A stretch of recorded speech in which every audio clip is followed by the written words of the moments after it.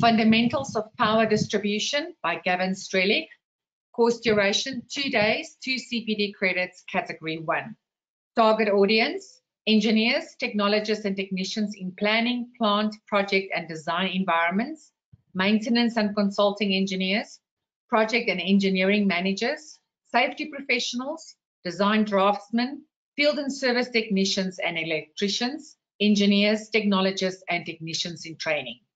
Course overview sets out power distribution configurations and related reliability, overview of electrical hazards and safety precautions, including earth fault protection, engaging in calculations for the economical and safe sizing of power cables, numerous work examples for LV and MV cable selection in varied applications, thermal and dynamic stress on cables during a short circuit, motor control center design, including schematics, provides insight into motor control aspects, numerous case studies for LV distribution and lighting.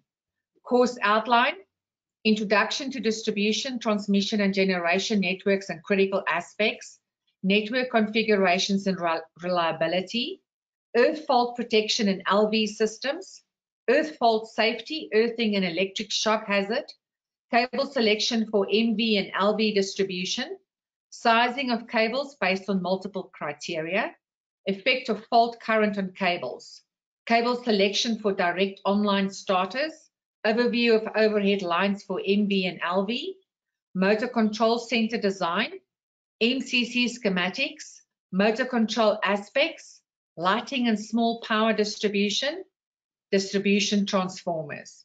A detailed program is available on request. For more information or to book this course, please email cpd at saiee.org.za.